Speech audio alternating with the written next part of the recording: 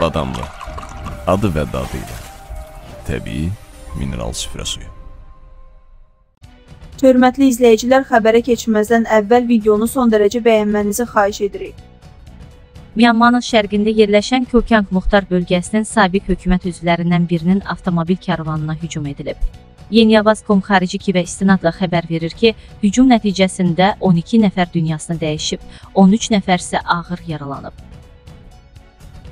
Zəngəzurun Xinzirə kəndi istiqamətində bəzi mövqelər Azərbaycanın nəzarətinə keçib.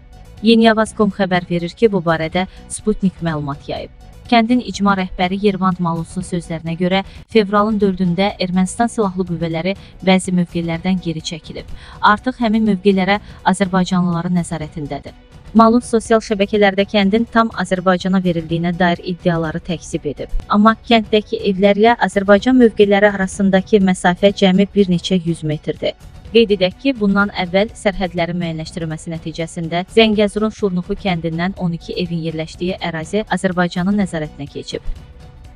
Türkiyə prezidenti Rəcəb Tayyip Ərdoğan Azərbaycanlı professor Aygün Attara vəzifə verib.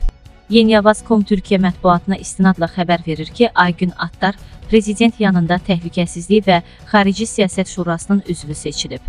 Xatırladaq ki, Aygün Attar 2019-cu ildə Türkiyə-Azərbaycan dostluq, əməkdaşlıq və həmrəylik vəqfinin rəhbəri təyin olunmuşdu. Qarabağda daha bir erməni hərbiçisinin cəsədi tapılıb. Yeniyavaz.com xəbər verir ki, bu barədə Nifs Am məlumat yayıb. Bildirilib ki, Hadrut bölgəsində tapılan erməni cəsədi kimliyinin müəyyənləşdirilməsi üçün tibbi ekspertizaya göndərilib.